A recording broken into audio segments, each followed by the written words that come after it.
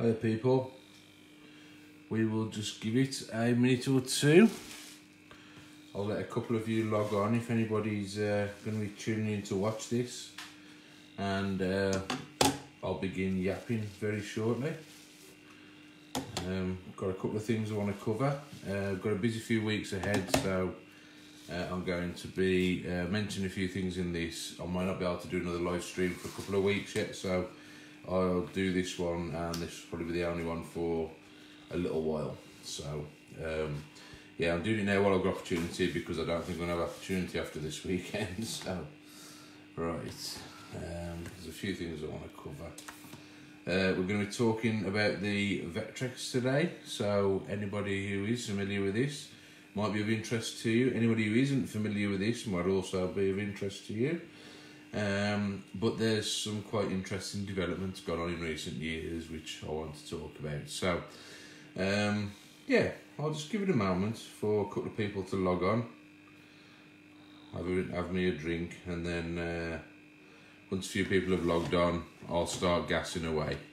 Hopefully, you won't get disconnected. My internet's playing up a little bit here at home.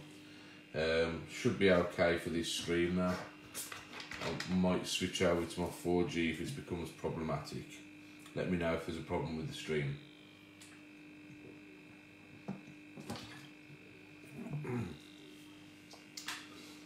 right. Okay. I'll have me a game while I wait for a few of you to log on. Have me a quick game and then I'll get gassing when a few of you have logged on. Let's give this a try, eh?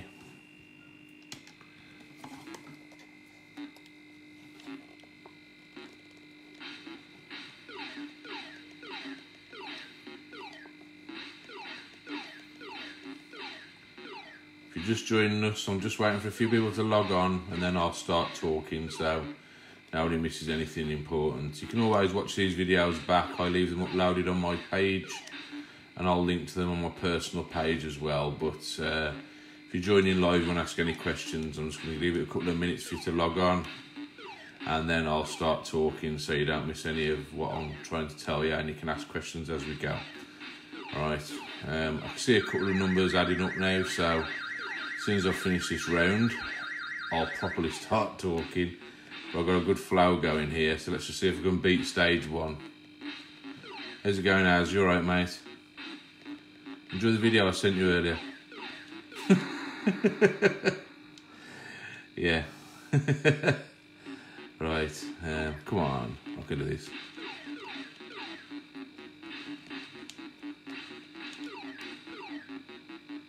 Come on, come back. You know, I think Space Invaders is one of those love hate games. You either love it or you hate it. Personally, I love it.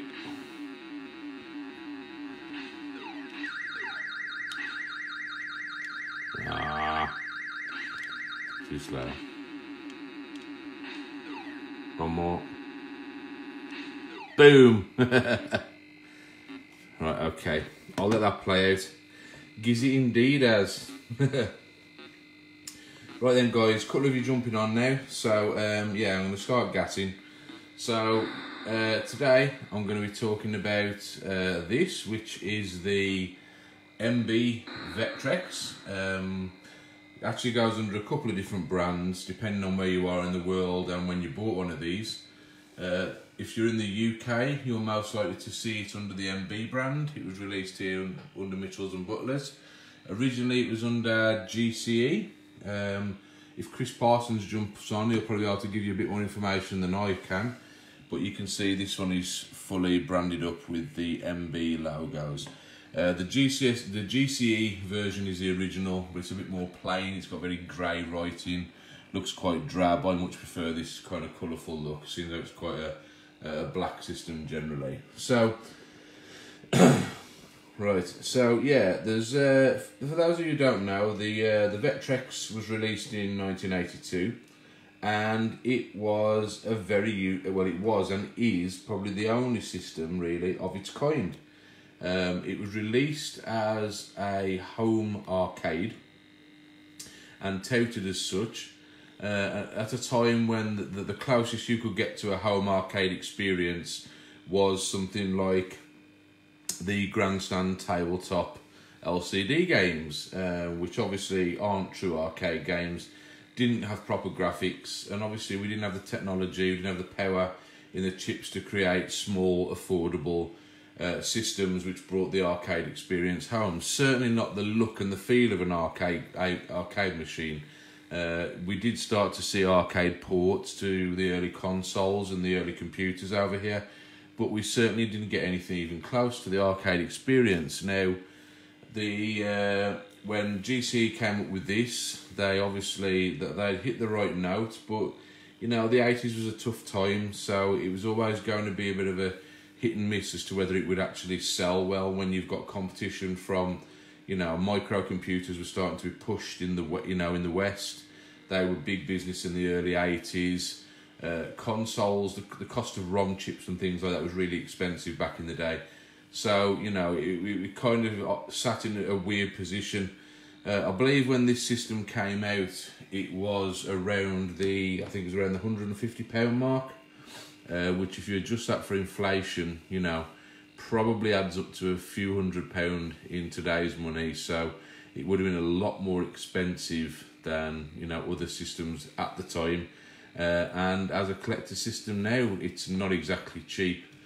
So, I mean, what do you get for that money? Well, the system itself is a compact all-in-one system with a vector screen, so it doesn't produce raster graphics. The reason vector games were popular back in the day is because you were able to create very convincing graphics that animated super smooth uh, compared to what was what was possible with raster graphics and full color back then. And uh, the way the the games worked was it would draw individual points on a screen and then draw them with lines and it would create much smoother graphics than you would get you know on a raster display so um, arcade games like um, trying to think tempest star wars um, asteroids uh, that they all used uh, vector graphics obviously they used color vector graphics but it was a bit expensive to bring that home um, so when they when they brought this home, obviously their intention was to bring back bring home those style of games, and I guess at the time they would have been far more impressive than a lot of things that were being ported to home consoles. Uh, the system itself uh, stands about 14 inches high, uh, and I think it contains, if I'm not mistaken, a 9 inch vector monitor in a vertical orientation. Uh, obviously, a lot of games of the early 80s, especially, well, late 70s, early 80s, used the vertical orientation for a lot of the games, whether it be raster or vector. And so they decided to go with that um, for, the, for the layout. Makes a lot of sense. It actually made the system a little bit more compact than it would have been if it was horizontal, I suppose, and made it stand out apart from just looking like a standard monitor. Uh, the system itself is housed in the bottom with the monitor in the upper section has a cart slot on the side of the system there. Uh, it's got a carry handle at the back and it just plugs straight into the mains. Down at the front, you've simply got a you've got a power slash volume switch, which is a rotating dial that clicks on, clicks off, and the further you turn it up, it adjusts the volume. You've got a reset button just there that you can tap to reset to go back to the, the start and then you've got two joystick ports in the front. The controller that comes with it is a quite an advanced affair for the time. It's got four buttons, you know, at a time when console games would generally would generally only have you know one button available, two at most perhaps, and uh, it's actually got a proper analog stick as well. Now it's a little bit loose uh, and a lot a lot looser than you'd be used to by today's standards, but of course, not many people were doing this back then. And I can understand why they went with analog because, you know, some of the earlier arcade games uh, were analog before they were digital, you know, things like Pong and things like that. Um, it's quite a nice profile. It can be a bit daunting to some people to know how to hold this. I mean, there's a few ways you can do it. If you're a, a big, you know, handy person like me, you can hold it like a controller and kind of use this like a thumbstick although you don't get the greatest range because you have to stretch quite far to go from left to right. Uh, and then you can tap the other buttons, although reaching one is quite a stretch. Um, and then, of course, the alternative is to put it as it should be, like an arcade panel flat on the table like this. And uh, holding it, well, whichever way you can, but the stick is very short to hold it like a proper joystick, so it can be a little bit fiddly for some people, especially if you've got bigger hands. It's connected to the system by a sprung cord, much like a telephone cord, and the entire system quite handily contain is a containing one unit. You can basically tuck all this away like so, and there's a couple of catches there, and then you can fold this up and it folds flat against the front and clips in. So the controller contains well with the system. You can buy second controllers and plug those in, obviously, but there aren't a great many great many games that used um, two, you know, simultaneous two-player play to use two controllers. So um, you won't have seen that much of it. so um, as far as the games go, um, I mean, there I think there were only ever something that there were probably around about fifty or sixty games ever released for the system. Not a massive amount by any stretch of the mind. Um, some of the games uh, you would most likely know um, or be familiar with at least. Uh, it came bundled with a game called Mine Storm, which is basically an asteroids clone, uh, although a little bit more advanced than, than asteroids with uh, various ship types and things to contend with. It's quite quite a cool game, and it's built into the system. And it's one of the best games for the system, if you ask me and you get you get decent analog control on that. Um, it, it's it's it takes a little getting used to on this controller, but it's quite a cool game. And um, yeah, and then from there you had games such as uh, there was a port, I believe, of Berserk. You know, if you played Berserk in the arcades. Um, I think there were ports of um, Scramble. Um, I think there's a pole position port on here, if I'm not mistaken. There are quite a few games you would recognise, but it had its fair share of everything. There were there were platformers, there were racing games, um, there were you know top down shoot 'em ups. There were uh, well, there, there were all kinds of games basically. There were maze chase games. There were all kinds of games for the system, um, but it never really got. I wouldn't say it got a killer app, if you know what I mean. I mean, there were certain peripherals you could get for this. There was a light pen which you could get, um, which allowed you to actually draw on the screen, which was quite cool in, in an animation studio. Uh, there was also a 3D imager, which was kind of hard to come by. And there were two or three 3D games released for this, which used a um, anaglyph 3D effect. Uh, and they're, they're quite convincing if you manage to get hold of them. Uh, there are actually some reproduced versions of the headset that you use for that.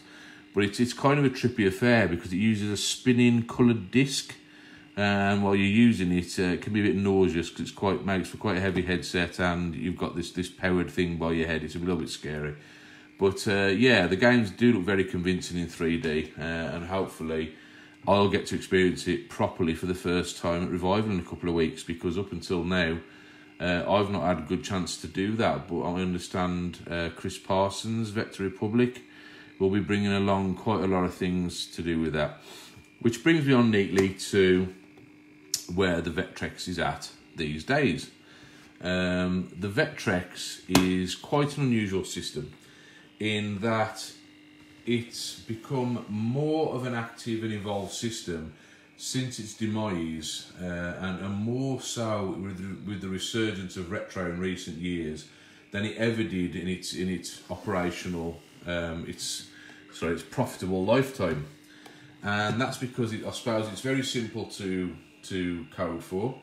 Um, you don't need to be a you know a super whiz with graphics and things like that because you just need to know how to plot the graphics and because they, they are vector they're going to be quite rudimentary compared to you know advanced raster graphics um, and people as with every, all other systems people have created demos and found ways to do things with the system that never would have really been shown off in the early games uh, people have added some cool music effects. Some they've, they've utilised uh, the vector, the way the vector display is drawn to create some pretty cool effects in several games. And uh, there's a very active scene still developing new games for it, some of which are far above what you would have seen released back in the day. Um, and uh, the good news is, is is that most of these games are available to buy completely reproduced as cartridges uh, or as ROM files. And uh, thanks to the fact that they've been producing multi-game carts for this thing for years, you can enjoy them all in one place for convenience if you want to. Um, I did originally have a multi-cart for this system, which I sold a few years ago, which was 72 in 1 multi-cart. And then some people started to create menu-driven multi-carts, which is uh, much better in my opinion. So I'm going to turn this off for a second and just show you what we're looking at if you had a stock system. Uh, push this across. Be a bit awkward the way I've got the camera here. One second. Let's just turn that off. And we'll pop the cartridge out. So, ordinarily, you would turn the dial on the front and until it comes on, be presented with the loading screen. Let's turn that down a touch. And because it's got the built-in game, it would automatically load Mine Storm from the off. And the annoying thing is it automatically starts a game whether you press start or not. So you have to kind of go straight into it.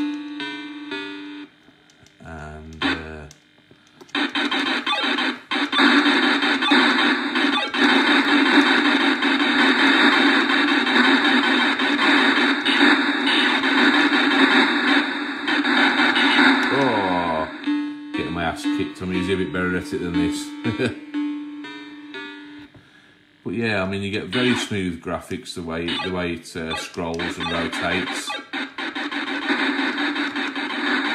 Once you get good at it, this is a really cool game to play. Um, but yeah, really good built-in game there. Uh, and if you don't like the brightness, you can actually adjust the intensity of the beams on the back. So, so that's what you were presented with as normal. Um, the uh, a lot of the early multi carts, the multi carts actually had dip switches built onto the cartridge. Um, the menu driven ones are much better because obviously with the dip switches you can't change them uh, while it's kind of you know in situ or turned on anyway. Um, so you have to kind of look at a reference chart to see what's mapped to where and things like that. Uh, with a menu driven multi cart like this, this is the VecMulti. This was probably the most popular one up until very recently. There's now a new one out called VecFever, I believe, uh, which is slightly better than this. This is the uh, VecMulti. This was created by Richard Hutchinson, the same guy who does the Flash Boy Plus for the Virtual Boy and a couple of other devices as well. Um, you can see just inside there, I've got this rather nifty uh, clear cartridge shell from Chris Parsons. Um, you can see the actual circuit board doesn't fill the space entirely and you can see the SD card slot at the top. There's no need to actually pop it out, so there's no slot on the top. Um, and you can undo it with one screw anyway on the back there, so it's not a problem. Um, but this just houses it nicely in there. I am mean to get a label made up for that. Be nice to do. Um, but yeah, it, it, I think it's only something like a 256 megabyte card. Vectrex ROMs are absolutely tiny, so it's easy to put everything on there that you want to. So once you've got that, put that into the side and as important as it is with other systems you should never attempt to pull out or push in a cartridge on this. I heard bad tales about something that happened at RCM where somebody uh, ripped out a cartridge and completely destroyed a Vectrex machine there. So yeah never do that particularly with this because quite a lot of voltage passes through it. Um, you might be wondering what we're actually looking at there. This is probably the way the Vectrex really showed itself off. Um, it had, because it only has black and white screen and black and white colours, um, you would be presented with, you know, quite a dull looking screen, I suppose, on uh, on first glance. So instead of having um, raster graphics, it had overlays, which is how a lot of the early arcade games uh, worked things like uh, Space Invaders, um, trying to think of examples now. I think uh, Boot Hill, um, I don't know, there's quite a few examples. They used to have like a gel overlay on there, and that would actually create the illusion of colour, even if it couldn't create enhance the graphics in any way, and would sometimes have uh, you know certain features draw physically drawn onto the gel that overlays onto it. And when you actually buy a Vectrex game, each game came with its own unique overlay. These are more hard to come by than anything else right now. And, um, you know, when you're buying second-hand games, you don't need this to enjoy the game. You can enjoy them all in black and white anyway. But I do happen to have a load of these, but I'm keeping them safe, and there's no point putting them out at events because if they get damaged, they're lost forever. Um, but yeah, each game had its own overlay, and you could use the same overlay for quite a, quite a few things. But I'll talk more about the overlays in just a second. I'll just show you a couple of the games on here first, and have a look at what you're seeing. No, I haven't got Vector Patrol yet, Swaney. I um, I'm looking to get that. I'm, I'm looking to hook up myself with a few more new games very soon. But uh, for now, I just want to show people this. So uh, we've got the VecMulti here. Uh, we've got this rather nice Starfield kind of effect going on. And um, you can see here, it goes by pages. You scroll left and right through the pages. And then you pick the game you want to play using the appropriate uh, button on the controller here.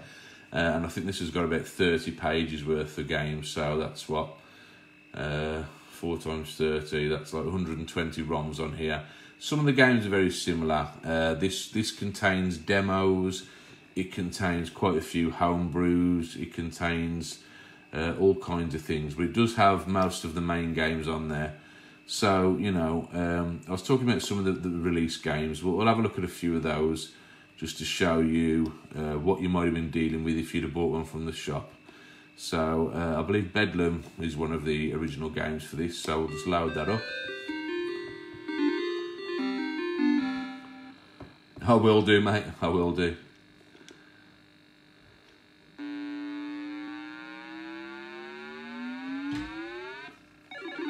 And you can see with Bedlam, it's a kind of base defense game.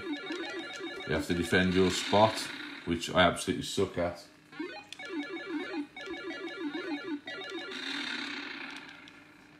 But yeah, I mean, you can see the games are pretty basic affairs. It would have been added to with the overlays you would have got with the game when you bought it, you know, as a, as a retail release. But uh, yeah, I mean, they're, they're arcade oriented oriented games, the kind of games where you need to, you know, they're high score based. That's the focus. And uh, I suppose once you spend some time with it and get good at them, you know, the kind of games that can become very addictive.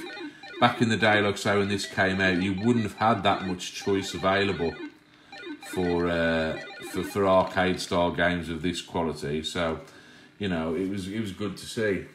Uh, we'll check out a few more. Um, we'll show Berserk actually because it's on there. This is this one is obviously a lot closer to the arcade game because the arcade was done in, in vector graphics natively. A little bit slower, admittedly, but uh, still just as fun.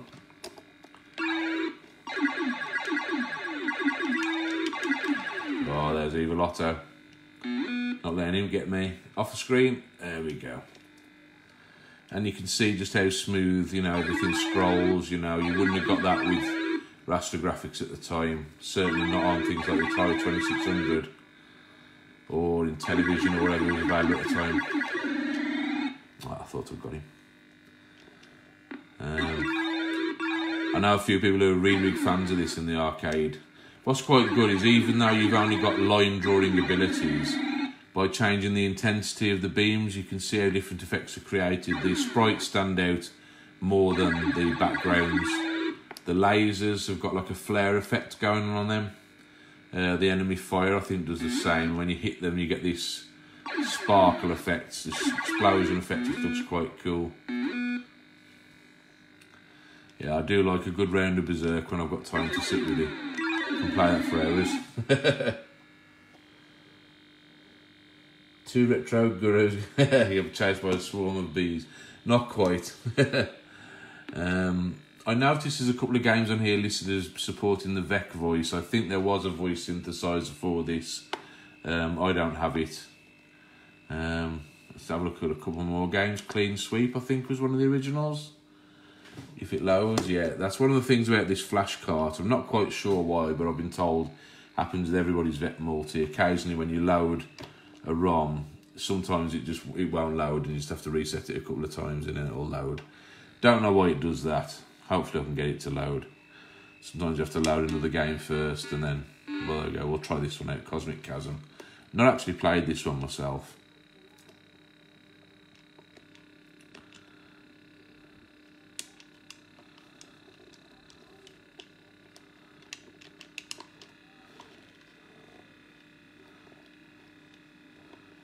Okay. Okay, so it's a top-down shooter of some description. And I'm about to die. yeah, I had a feeling that was coming. Um, yeah, I need to take some time with that and practice that, I think. So we can at least get through the next section. Assuming once that gets to the edge, it's no good. Oh, okay. Yeah, I really don't know what I'm doing on that one. we'll try a couple more. Show something a bit different. I'll have a look at some of the uh, racing games that are on here. Um, let's have a look. Hyper Chase. We'll go for Hyper Chase.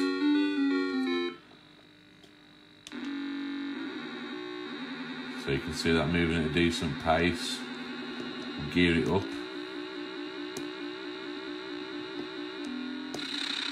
Or attempt to. It's, this is quite a hard game to play. One well, the angle I'm playing at anyway. And this has got full analog control. You can see me hitting the sides a bit hard. This has got full analog control for the steering. But once it starts to move at third or fourth gear, the pace is right up there. Anybody who's ever played the Tomytronic 3Ds, you know, racing game like this looks very similar to the racing game on there.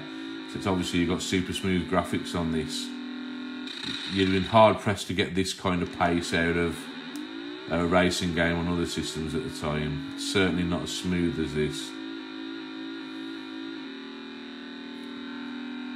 So it will last more than a few seconds at fourth gear. No. I absolutely suck. So that's a racing game, and I think we got pole position on here as well. Um, and that looks. Just find it. There we go, pole position. Hope this loads. There we go. It's got quite a cool little soundtrack.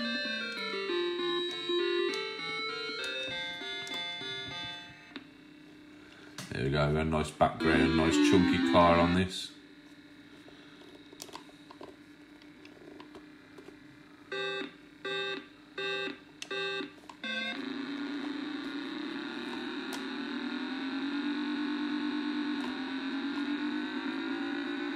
This of course got analog control as well, a bit smoother again than Hyper Chase, a bit less mental.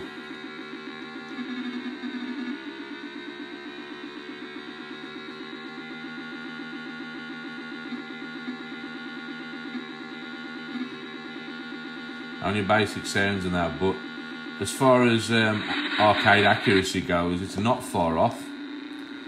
You know, it seems to scroll the same, move at about the same pace. Obviously you haven't got the full colour. The overlay would add a little bit to this, but not too much. And you've got your, your two gear shifts just like the arcade.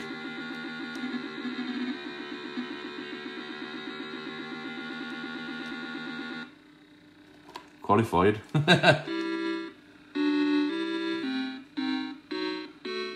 Now the uh, the effect you're seeing on the camera here, which looks like a rolling graphics effect, doesn't look like that in person. It actually flickers a lot faster than that to the naked eye. Looks a lot smoother. As you're looking at it now, that's how it looks to me, pretty much.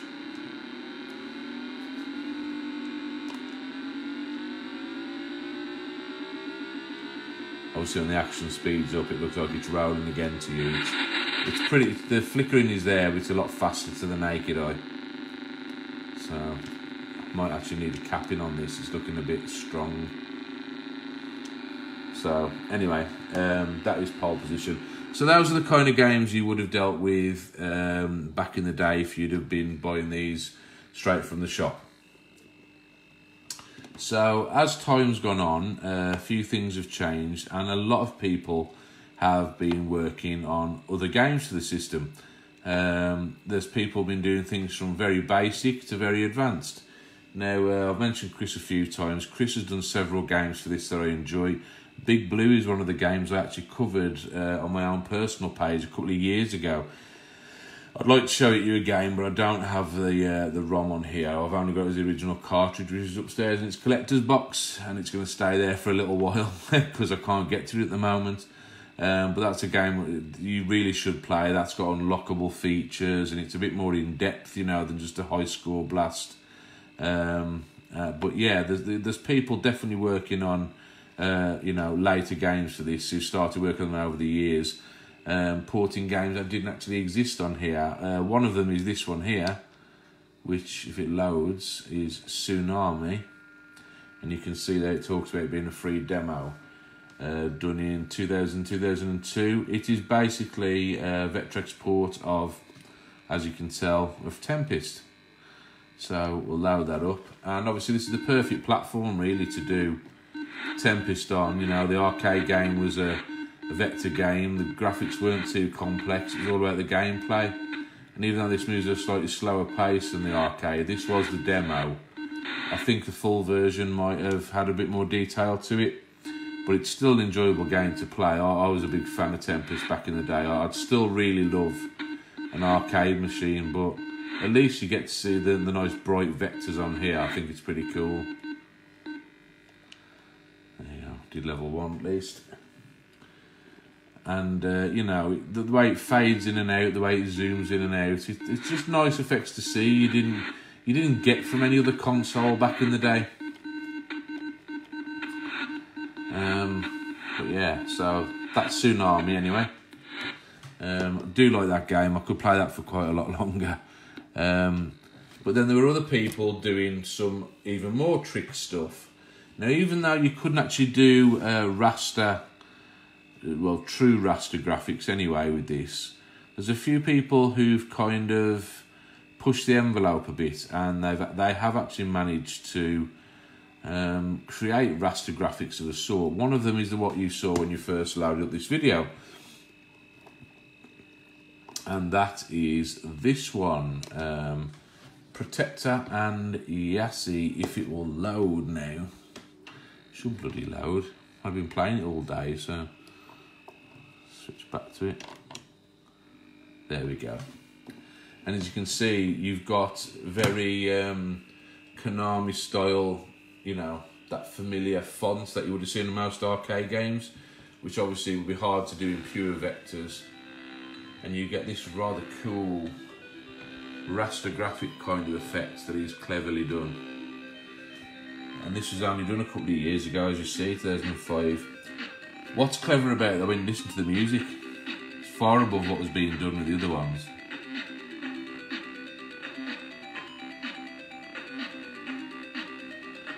Now on this cartridge, there's a couple of games. Um, you might not guess what they are purely by their names, but Protector is a port of the arcade game Defender, and YASI stands for Yet Another Space Invaders a lot of people attempted to do Space Invaders clones for this system, which didn't turn out very well.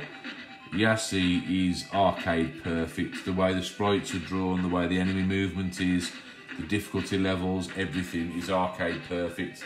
And I love Space Invaders. I think it's one of those games where they love or hate, and uh, I happen to love it. So um, yeah, I'm um, I'm a big fan of this. It's probably my favourite game to play on here.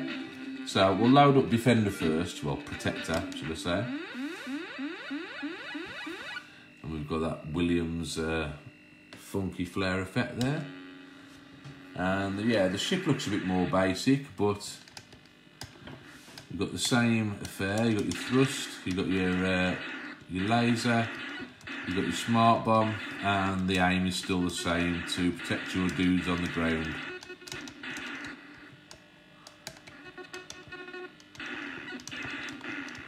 I always sucked at Defender, but I'll be honest, I much prefer playing it on uh, on a joy on a joystick with um, rather than two different with sorry a four way joystick than I do with a two way joystick on the arcade. Uh, this plays a bit more like the arcade, but it's a, it is a nice joystick to play with, and it's got some really cool effects. You can see the detail there of the uh, the actual play field where all the enemies and your the guys you're trying to protect are. So yeah, anybody who loves Defender should absolutely love that game. Um, now put my initials in, I don't think it saves. So I'll reset that, we'll go back to it and we'll play the game which I wanted to discuss originally. It loads, second time lucky. There we go.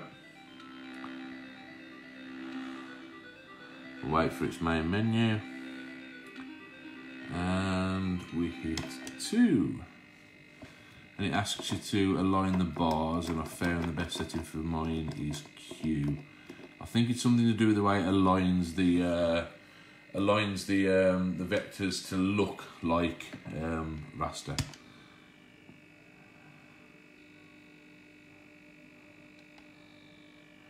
So let's load that up. Oh, I wanted to go into it now. Here we go. And you can see you've got the different grades of um, of actual attackers there, the actual invaders. They're, they're all shaded slightly differently. They do appear, what it is is very fast, fast drawing vector lines that are creating those images. You can't, it doesn't pick up too well on camera but they're, they're all made up of what looks like very, very fine scan lines. And uh, it doesn't affect your eyes at all while you're playing. You think it might do. But the bases, the enemies, and your ship are all made up of that. Including the text at the top. But the effects are all there. The speed change and the enemies as you destroy them are all there. You might have saw, if you logged on at the very start of the video, you might have seen me complete a stage of this. I'll um, attempt to now, I think. And then I will show you what else has been going on with the system. Yeah, game over. So, so um, yeah, so cool little system. Now, mean, I've spoken a little bit about the fact that this system has seen a bit of a resurgence in recent years and has had, you know, has got um, probably got more squeezed out of it in recent years than it ever did while it was still profitable. Uh, like I say, it's it's quite an affordable system to service, to look after, and to own. Uh, the games are all very arcade derived, so if you like your arcade games, you're very well catered for on here. You've got a flash cartridge available, uh, and so um, it's developed its own kind of cult following in recent years. And I'd say for about the last 10, 15 years, I mean, I only re really kind of started to discover it in the last five or so, although I was aware um, about 15 years ago people were doing new things for it. And uh, people have been doing all kinds of funky things. I mean, I would talk about a little bit about Chris Parsons of Etta Republic. Um, he's making new games for it. Um, there are people out there creating modifications for the system. Um, one of the modifications you can get, if I go very close, you might just about be able to hear a strange buzzing noise as the intensity of the beams on the screen change. And um, you can't avoid that. It's, it's, it's something to do with the lack of shielding between the uh, the speaker and the uh, what actually creates that. Now there is a there is a device you can get called the buzz off, which will eliminate that. I my system was didn't do it too badly to start with, but the more it's been used for events and the more I've used it, I've found now that uh, especially having the brightness turned up quite high, you have to turn up a little bit higher for the games on here because the way it draws the screen. Um, it does put a strain on the system, and I could do with getting the buzz off fitted to it now. Uh, but there are other things that you can get for the system. There's one called the audio tap, which will allow you to output the sound to external speakers. And if you've been to revival events before, you will have seen Chris Parsons with that kind of setup. There are uh, controller adapters you can get to use a Mega Drive pad with this because buying a replacement control pad now is very hard to do. They're quite expensive to get, and um, yeah, they, they do need a little bit of servicing. My analog stick here has gone a little bit sloppy. I could do with giving this a bit of a touch up, and I probably will do soon as I've brought the Vectrex home to give it a touch up anyway. Um, but yeah, there are custom joysticks being made for this, custom spinners, custom um, steering wheels and joysticks, flight sticks, things like that. Um, there's, there's so many things being made for the system, it's unreal. Uh, people are making their own overlays for the system, uh, for the custom games that they've got. And um, yeah, the, the community is very, very active for this. There are people buying carts regularly for it. Um, prices have held pretty stable for it. You can you, you can buy one of these now for about 150 to 250 pound, depending on whether it's loose or or boxed. There's a custom carry case for it. If you've got one that's in good condition with a nice bright active screen that's not fading, um, then yeah, you're looking to pay up to, up to about two hundred pounds for a decent worker. Uh, the prices hold really well, uh, and if you go to the right people, they are quite serviceable as well. I had two at one point. I gave one away. I bought it um, knowing it may have been damaged purely because it came with quite a few games and a load of the overlays. So it was worth it just for the overlays. You can pay 10 15 pound for the overlays on eBay, so it was totally worth it. Now, like I say, in recent years, people have been doing some funky things with it, and one of the most recent ones to come out is what I've been trying to show you so far. If I just turn the system off for a second, you'll notice that the system appears to have something very odd on the front, and that is actually a modification. Uh, the system itself uh, actually stops at the front there and kind of uh, tapers in, in towards the screen. This is a panel that goes over the front. It's one of the newly created uh, panels and uh, our friend James up in Scotland has been doing these uh, and he's only recently created them. A few people out there have now bought them and um, I've only seen them so far as a 12 volt version. What it actually is, is a, it's a perspex section that just fits over the front of the system. But just inside, if we can try and get a shot of it, um, try and turn the flash on. If we go just inside there, you'll see there is actually a mounted strip of ultraviolet LEDs, which goes down to the bottom. You can see the power jack there for it and it goes around the inside and there's some up that side as well. And then it's joined by a strip that goes across the top there. And it's simply attached to the system by a set of self-adhesive velcro pads. And the reason um, the reason for this um, is because it will cast UV lights onto the screen but you don't want them beaming in your face. So the, the angle they're at they're casting perfectly onto the screen now the reason this has been created is because um, UV can create quite a few quite a few cool effects.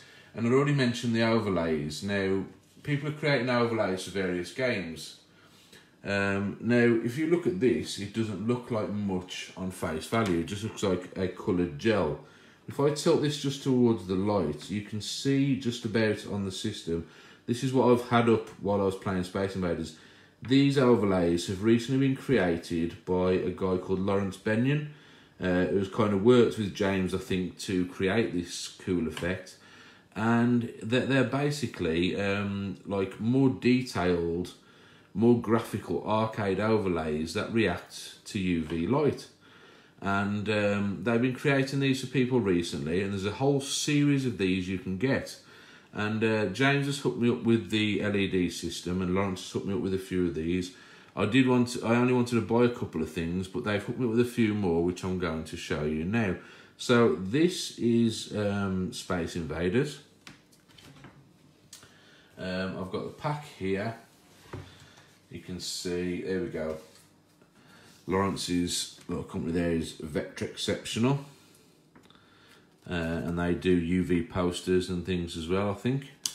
Um, we've got a set of care instructions which actually tell us that unlike some of the other um, gels for the screens, these are not sealed, um, so you do have to be careful not to get them wet, I would think. Um, because I said if they laminated too many layers, the UV effect on the UV layer they've added wouldn't be very effective. Um, so they're not waterproof, but they they're not like susceptible to sticky fingers or anything like that. As much as you might expect, they still feel very similar to normal ones. Um, but yeah, they look really really cool. Um, I'll just show you a couple of the other ones I've got, and then I'll turn the system back on and show you uh, what they what the other ones look like as well. So I'll move Space Invaders over. Um, move the first layer. That back on there. Pop this off. Let's see what we've got next. Okay, so the next one here, even though the colours look the same, if you look in the reflection there, anybody who knows their arcade games should recognise this. This is the overlay, I believe, to Asteroids Deluxe. And um, this shows up really well in the UV. Um, you can see the reflections in the light there. I'll put that on a minute with Mine Storm or with Asteroids and show you how that looks. The, the level of detail on these is absolutely stunning. And even though in the light there you can see certain amounts of what looks like scratches on the screen from the lamination process, you don't see any of that during gameplay. Um, obviously you can't really wipe these damp else they will, you know, it could ruin them. So um, you just got to kind of live with those being there, but it doesn't affect the way the UV effect looks on the screen. So it's not a problem at all. Um, uh, those were the two I actually ordered, and then Lawrence actually said he would hook me up with a couple more and so he sent me some rather Tron-like cool effects here. This one is the sphere grid, which is kind of a distended um, circular grid from a flat grid in which the lines light up in the UV. And we've got one more here, which is the I think this is yeah this is the uh, square tunnel grid, um, which kind of zooms into the background. You you can't even see this one in the in the light above me, so I'll have to actually put this one in place to show. It's got very fine lines, and it looks really cool. So we'll pop it back on, and I'll pop on a couple of games that will show these off. Obviously, the first two that I showed you. Um, sorry, I should talk a bit more about this UV overlay. Um, the UV overlay, this is the 5 volt version. This is the first time I've seen a 5 volt one in action. Uh, James built these to be 12 volt. Um, 12 volt LEDs with the, with the idea that you power it from an external power source. Um, I think the idea behind that obviously is that it allows you to continue with uh, having two player games um, because you can power the uh, power the LEDs externally. And also because the 12 volt LEDs have got slightly more intensity and apparently the strips you could get the LEDs are more tightly packed. Now this I, re I requested the 5 volt version and that's because when it comes to doing events or at home and things like that I don't want a million things plugged into power sources here 12 volts isn't a lot but it's another socket on a plug bank and I don't really want to do that. So I've requested the 5 volt version and what we get is down the bottom corner there you can see uh, I'll just turn the light back on. You can see the uh, plug there which is like a standard jack probably center uh, center positive and it just goes there into the second player joystick port and it draws 5 volt power straight from the second player joystick port up to there. James was concerned it wouldn't be bright enough and was curious to see how it would look uh, and even with just six LEDs either side, as you've seen on this video, it shines just perfectly. I mean, oh, yes, I'm showing you this now in a, darker evening setting, but I've, I've, I've tried it in the day and it looks just as good.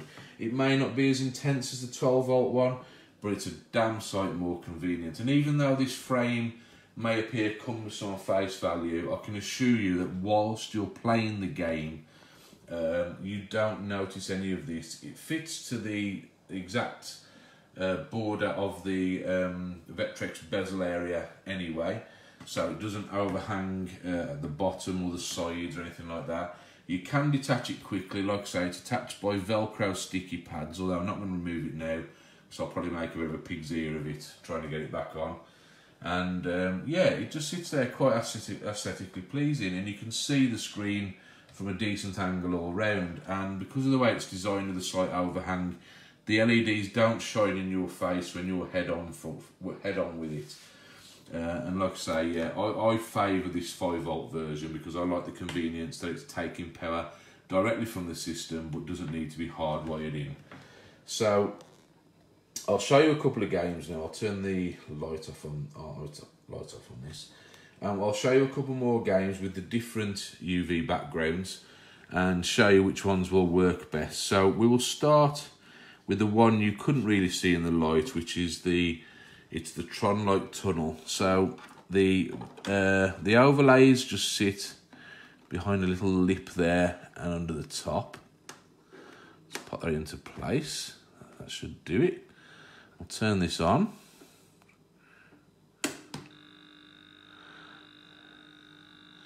And yes, the effect is a lot weaker on this one than it is on the others, but you can just about see the square tunnel grid that goes down. Like I say, this isn't the most intense effect one. This is more of a subtle effect that you might want to choose on a game. I don't know, perhaps like the one I was showing you, was it um, Cosmic Chasm, I think it was, um, or Bedlam. Let's try Bedlam. And you can just about see the way the all the colours you've got red, blue, green and yellow I think. The way they look under the UV light you get this kind of almost like you know when you've magnetised a screen and you get the kind of funky colour blur you get that kind of effect and it might look a bit strange in the middle of the screen when you're actually playing the game it just adds that little bit of colour that makes it interesting and you can see that head on you don't see the um, the UV LEDs. You only tend to see them once you start moving off to the side like that. They'll be in your face or the reflection in the screen there. You don't generally see them in normal play, you know, face on like this. So they're not there. They're not distracting. They're not giving off loads of uh, UV radiation or anything like that. Um, so yeah, we'll just quickly throw on Bedlam.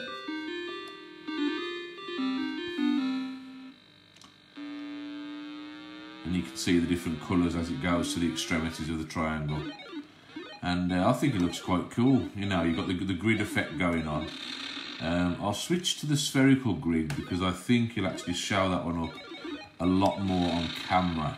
So I'll just quickly pop this out. Damaging it. There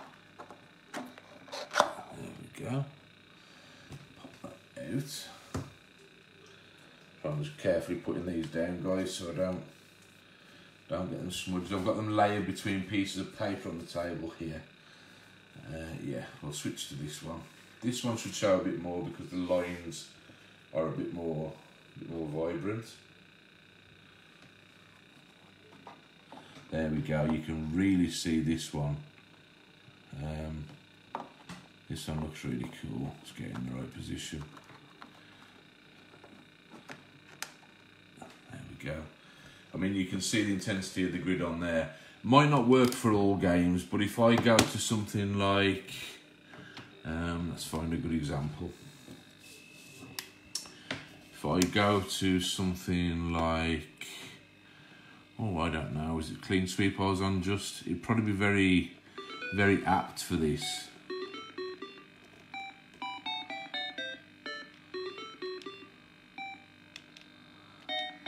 Oh, maybe not. but anyway, you get the idea. Sorry, clean sweeps the Pac-Man clone. I'm forgetting my games here. but yeah, you got that kind of cool UV overlay. It's just a very 80s look, you know what I mean? And I think it looks cool. You know, on the on the right choice of games with the right overlay, these effects can look really good. And yeah, I I uh, I quite like this. I quite like this one. I mean, you can see how well those lines show up there, and I'm not even close to it. The LED is really showing up the intensity of those. There's, there's several grid effect ones you can actually get. There's one which is more like um, a circular tunnel, which looks really cool. There's one which looks like uh, like a chip, but like a, a bit like the Matrix. It almost looks like. Um, there's one which looks like a cityscape from above, and I suppose depending on the choice of game, it can look quite cool. I mean, it looks like part of the graphics of the game, which is uh, which is nice. But yeah, so you know that looks quite good. And I will just jump back to asteroids, which I mentioned because we've got the asteroids overlay, so we might as well show that one off in all its glory. Let's pop that on there. Pop that on there. We'll pop this one in. And we will go to, in fact, I'll go to asteroids first, and then you can see the difference it makes with the screen in place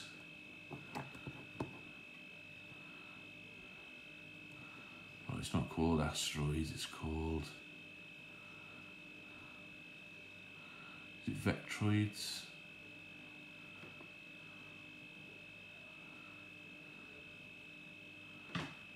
Trying to find it. So what we'll do, we'll go with Mine Storm because uh, Mine Storm is actually virtually the same game. Mine Storm 2, in case you're wondering. Uh, the original Mine Storm the original Mine Storm um, had a problem uh, with it would only go to a certain level and then it would crash. So they released a physical cartridge version called Mine Storm 2, and the only difference is it adds um, it adds like a bug fix to get past that stage. So as you can see here, um, if you've ever played the arcade version of Asteroids Deluxe, this will look very familiar although the arcade versions tended to have a reflected overlay which gave the more of an illusion of the um, the graphics being overlaid on top of the graphics with this one you do get the you don't don't quite get that impression because the vector graphics are appear, appear to be underneath the graphics but the intensity is bright enough that it doesn't distract from gameplay and you do still very much get that arcade feel. You know, you can see the graphics clear enough. You've still got a star field there, but you can see the detail that's in these. This has still got the graded red, blue, green, and yellow uh, background, but it's also got um, you know quite detailed UV graphics for the meat the uh, the meteor field and the the ship that's in the foreground, just like on the Asteroids arcade game. We'll play this a little bit just to show you. I'll attempt to.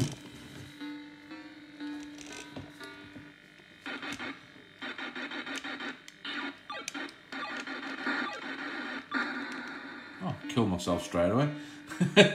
I'm usually pretty good at this game. Right, stay in the centre. Let's get a grip on this. There we go.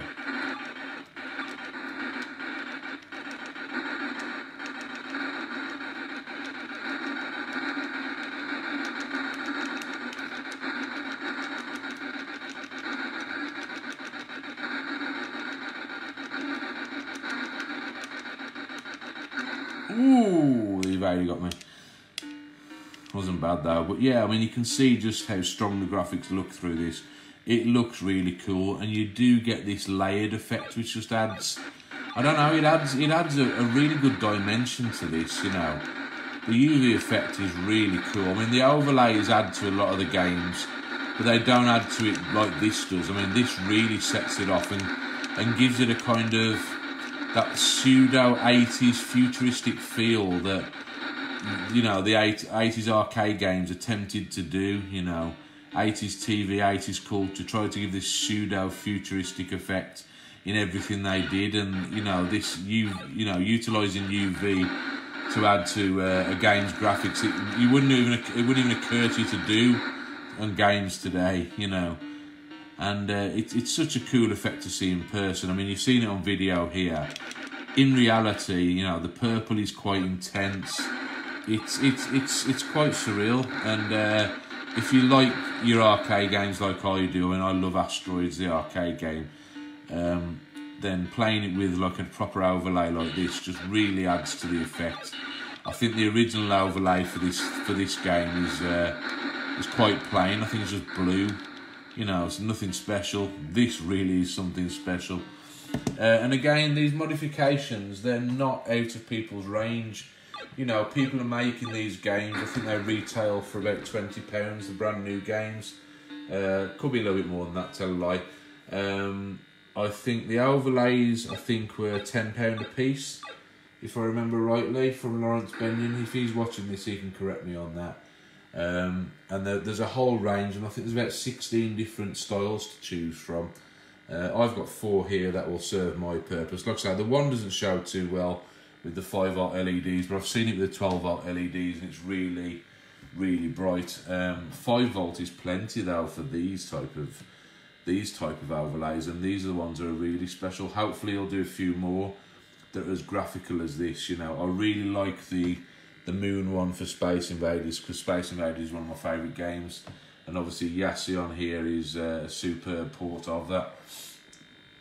Um, the LED um, frame, I believe you can get from James, uh, and I, the, the, cost actually escapes me right now, but he is on Facebook right here, James G. Watt, and he's done several things for the Vectrex. Vectrex most recently was uh, Str Stramash Zone, I believe, which is a port of Battle Zone, and I've actually seen an overlay that's being developed for that, which has a lens in the middle, which zooms the scope in which makes it much more like the, the arcade version. So, you know, people are doing some really trick things with the overlays, and it's really cool to see. So, if you want to, if you if you're thinking about getting a Vectrex and you really want to pimp it up, get yourself a flash cart, get yourself some custom controllers, fit the buzz off kit, fit the um, the audio tap, get one of these UV overlays from James.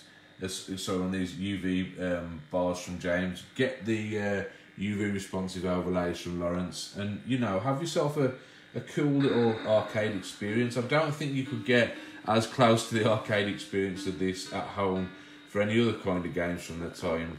Um, and this is a real piece of kit that was made at the time, you know, made in 1982, and it's still doing things to surprise us. This, honestly, is really cool to play this way. Um, I've not done uh, my obligatory plug, but I'm going to mention it again here. Uh, Revival 2019 is in just uh, just over three weeks away now. We're going to have a massive Vectrex section there. Chris Parsons will have about five or six machines there doing all kinds of things, including his new game, which is based on Sheriff, uh, called, and the name's going to escape me now. Um, but yeah, he's done a game based on Sheriff, which for the Vectrex, and it, it looks and plays really cool. I've seen some demos of it, and he will have full versions of that game there available to buy. Um, there'll also be some other mods on, on show there. Uh, people have now found a, a way to run uh, MAME through your Vectrex screen, so you know that's quite cool. Be interesting to see how that develops. But yeah, the Vectrex is a really cool system, and uh, if you like it, you'll be able to get your fill of it at Revival on the 15th and 16th of June. Uh, I hope to see you all there anyway. There's only a few weeks away now.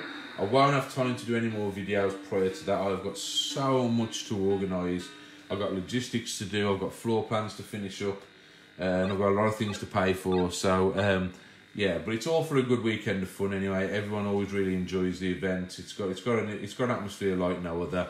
And even if you've already been to events this year, I mean, come along to Revival. It's honestly second to none. It's the only pure retro gaming event this country's got. So please support it, and we will be able to continue to bring it to you. Um, but anyway, yeah, signing off. Hope you enjoyed the video, and um, I'll catch you all soon.